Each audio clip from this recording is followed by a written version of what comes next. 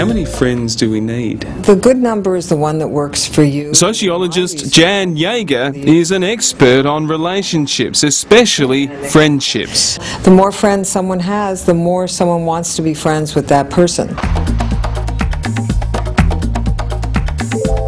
do I learn how to be a better friend? On average, men and women have one to two best friends, four to six close friends, and 10 to 20 casual friends.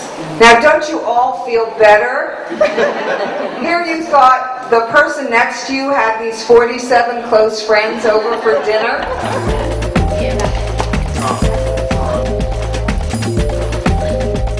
possible to be besties with someone you work with. It is, but it's also a relationship that you have to be careful about. Her mother loved her and didn't tell her she was overweight. Uh, her father thought she was wonderful.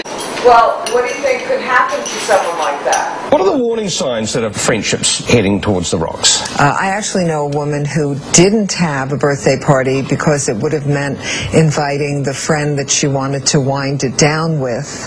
That's definitely a warning sign that something's wrong with this friendship.